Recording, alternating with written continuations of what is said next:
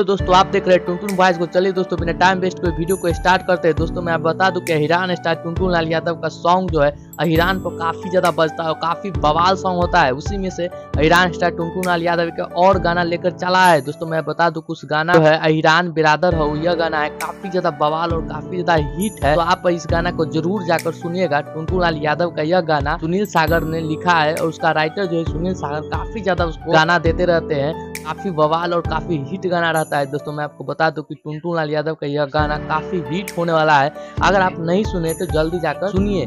दोस्तों, टुनटुन लाल यादव का अगर आप फ़ैन है तो वीडियो को लाइक और चैनल को सब्सक्राइब कीजिएगा। मिलते हैं नेक्स्ट वीडियो में। Bye bye